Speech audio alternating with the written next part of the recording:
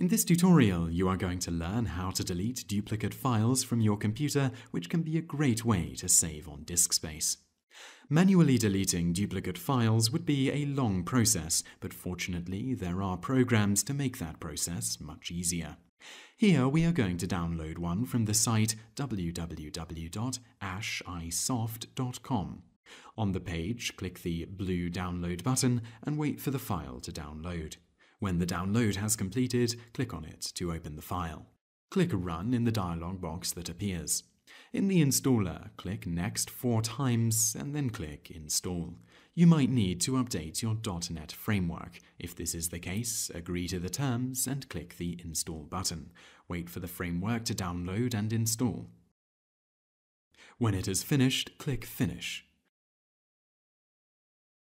The program will launch and you need to click the Start Search button. A dialog window will appear and just click the OK button. Select a place to search for duplicate files. Here we are choosing our entire C drive and click OK. Click Start Search again.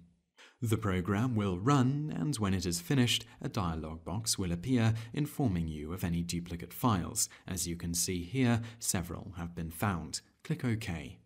In the main window, the found duplicate files will be displayed below. Right-click on any one of the files, and in the menu that appears, navigate to Easy Marking and click Mark All Duplicates. Now, in the main menu at the top of the program, click Delete Files and click Start Now in the window that appears.